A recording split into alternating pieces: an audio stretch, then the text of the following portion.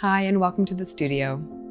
Choosing the right brush for your oil painting is important, not because there is any one right brush, but because the brush should help with the application of paint and work with you rather than against you.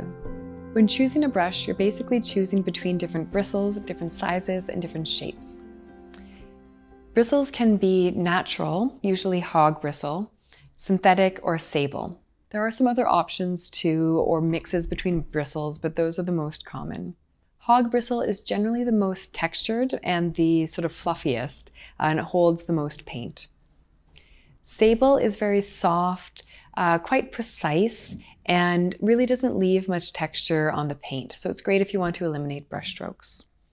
Synthetic brushes can come in slightly different textures, but generally speaking are fairly soft, uh, but with a lot of spring to them, so not quite as pliable, let's say, as a sable brush.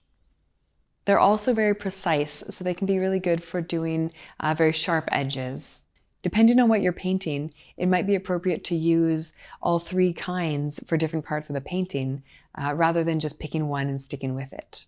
Oil paint brushes all have long handles, but the shape of the bristles can be different. The most common shapes are filbert, flat, bright, round, and fan. The shapes affect how the paint is applied to the ground. Good quality brushes can be expensive, and the quality does matter to a certain extent.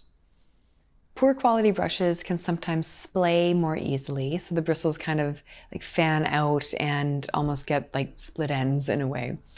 Uh, sometimes the ferrule can start to disintegrate. So the ferrule is the metal part that holds all the bristles to the handle. So the glue can weaken there and then the bristles can fall out. What I find to be the most important thing for good quality brushes is, of course, how they behave, but also how they wear over time. Now, ideally, a brush is something that you want to be able to keep and continue working with and not just have to throw out. So they all undergo some wear with use, of course.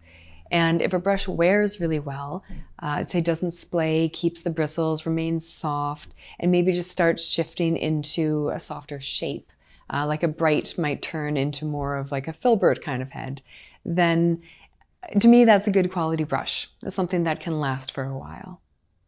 That being said, if your favorite brush is just, you know, something that was really low quality from the dollar store, let's say, but if it's working for you, that's okay. Continue using it.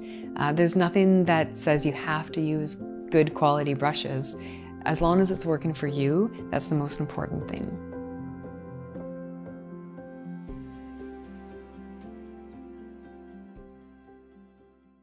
Visit NicoleSleethAtelier.com for art courses, demos, and more.